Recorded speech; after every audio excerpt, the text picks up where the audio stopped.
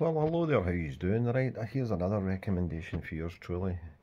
This book was released in 2018 by Matthew Polly and it is Bruce Lee A Life. You've got the hardback version, softback version. There's over 630 pages in it. And this is very, very cool.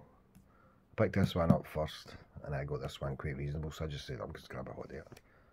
But I would highly recommend getting it if you can. It's a fantastic read absolutely brilliant. Matthew's done a brilliant job at So, let's say I like giving people a wee flick through. Now, there is photographs all over the place. You've got a lot of black and white ones, and in the middle you've got some cracking colour ones. So, there you go. But, if you're going to start reading it, give yourself a wee bit of time. But once you start getting into the book, it is really interesting. You'll find out a lot of things. That's uh, James Franciscus from Longstreet.